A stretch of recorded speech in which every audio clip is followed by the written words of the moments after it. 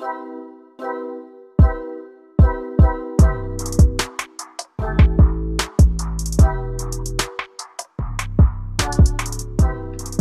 Assalamualaikum warahmatullahi wabarakatuh. Welcome back to my channel Fox Channel 25 Oke bagi anda yang baru bergabung dengan channel ini Ada anda klik tombol subscribe terlebih dahulu. Oke terima kasih anda sudah klik tombol subscribe.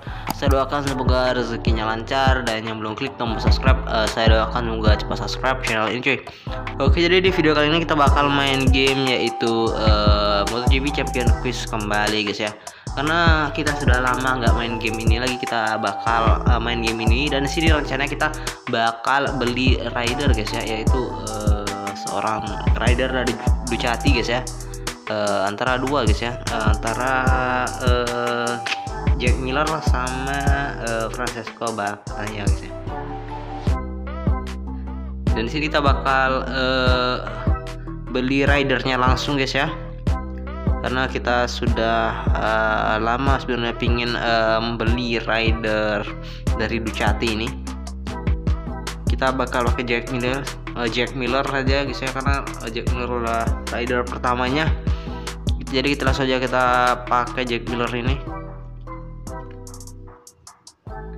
Oke kita langsung saja uh, menuju ke race nya race pertama atau tes pramusim ya guys ya. Karena pada uh, bulan ini tes pramusim itu dilakukan di sirkuit uh, Mandalika International Circuit guys ya. Jadi di Indonesia untuk pertama kalinya karena baru pertama kali juga uh, sirkuit itu dibuat uh, jadi pertama kalinya langsung di tes pramusim kali ini guys ya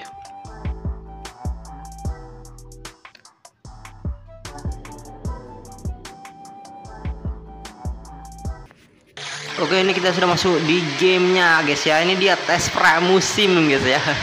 Tes pramusim MotoGP World Championship 2022 and MotoGP Ducati World Championship 2022 ya kita sementara itu masih berada di posisi ke-14 Jack Miller. Dan menggunakan Jack Miller guys ya. Memakai motor Ducati guys ya. Dan di sini kita bakal uh, lihat uh, kemampuan the power of Ducati pada kali ini karena ini kita pertama kali juga kita pakai Ducati first impression kita pakai Ducati guys ya. Ducati langsung Ducati pabrikannya guys ya. Bukan Ducati satelit lagi kita pakai. Ini kita pakai uh, pakai powernya. Apakah uh, tanpa sedikit upgrade uh, bisa masuk 10 besar guys ya? Itu uh, sungguh luar biasa sekali guys ya.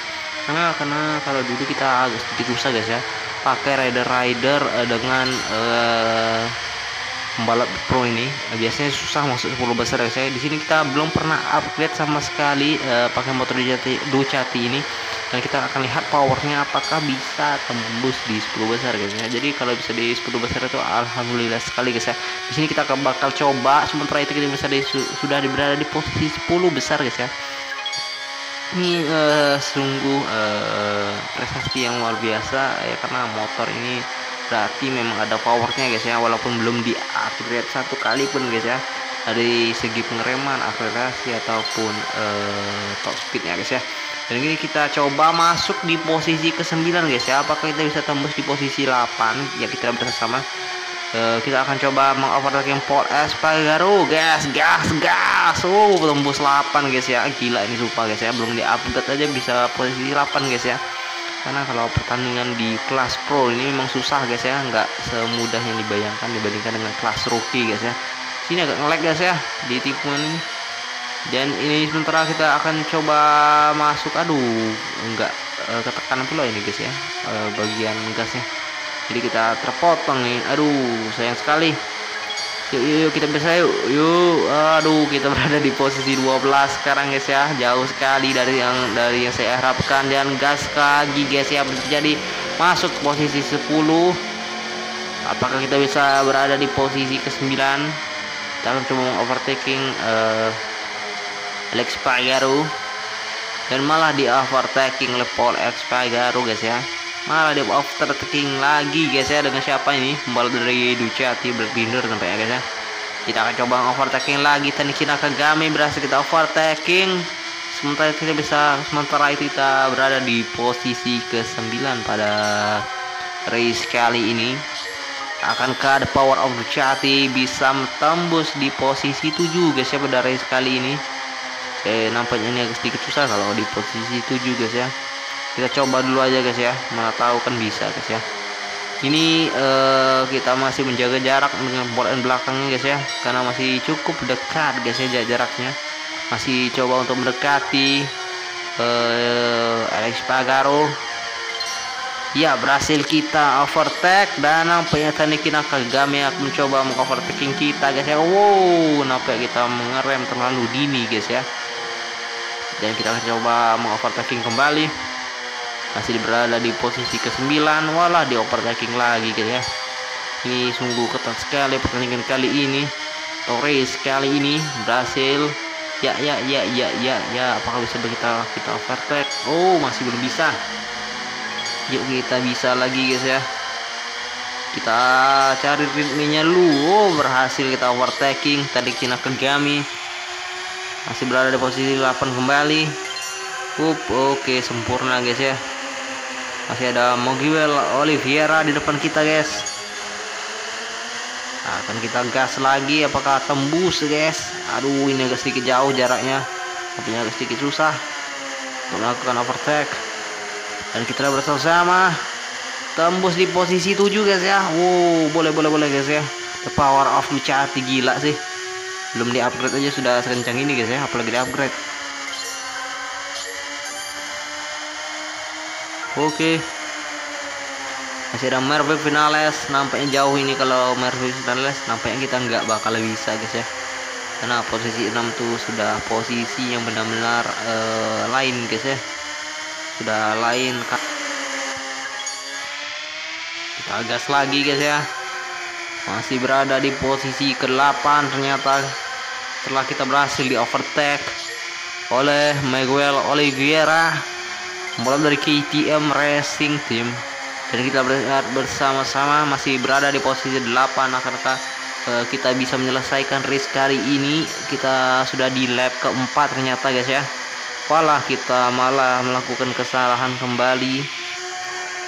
Aduh sangat terlambat ternyata. Lagi-lagi kita tidak pas dalam melakukan ini. Waduh sangat terlambat guys. Aduh malah terpotong beberapa pembalap. Itu banyak sekali pembalap yang kita terpotong kita gas lagi. Wow waduh waktunya habis guys ya. Kita coba aja guys ya. Kita beli aja.